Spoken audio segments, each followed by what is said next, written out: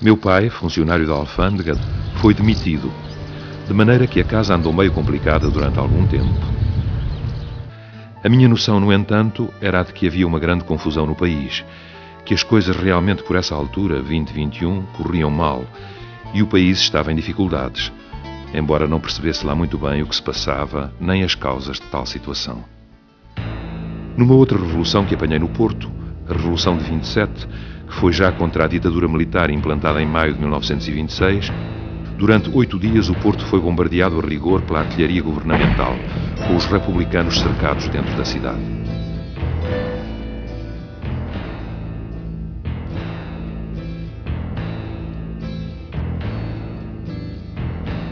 No fim, a cidade foi tomada e toda aquela gente foi presa ou fugiu.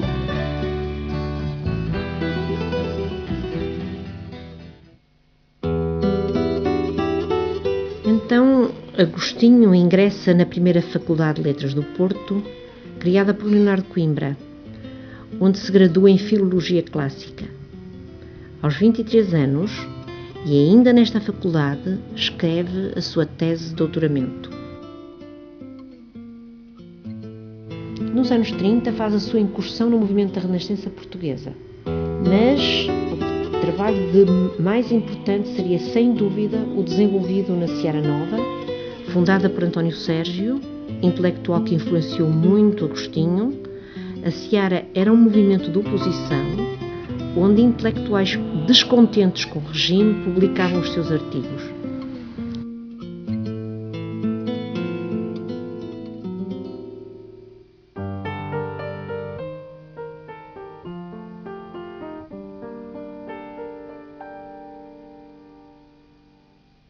Entretanto, ele tinha casado eh, em 1930 com Berta David.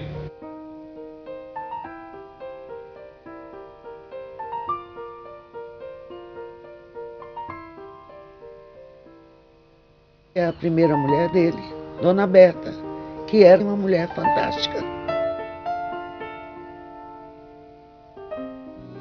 Talvez ali por 32, 33, veio uh, para o liceu, era um jovem professor, franzino, franzino, e rapidamente conquistou um prestígio extraordinário, não só dentro dos estudantes e dentro dos professores, mas mesmo na cidade.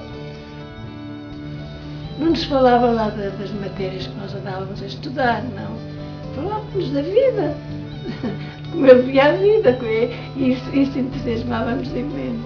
É claro que esse, esse prestígio que ele conquistou eh, tornou-se evidente com o episódio da obrigatoriedade que o regime salazarento eh, impôs a todas as pessoas que trabalhavam na função pública de assinarem um documento em como não faziam parte de nenhuma organização subversiva ou eh, secreta. Declaro por minha honra que não pertence, nem jamais pertencerei à cidade secreta. Simplesmente ele não concordou queria ter a liberdade de amanhã, se quisesse fazer parte de uma sociedade secreta, fazer mesmo. E Eusinho da Silva disse-nos porque é que não tinha assinado. Porque eles diziam, não faz nem fará. Ele disse, não, neste momento não faço. Mas não sei, quero, quero liberdade para amanhã fazer.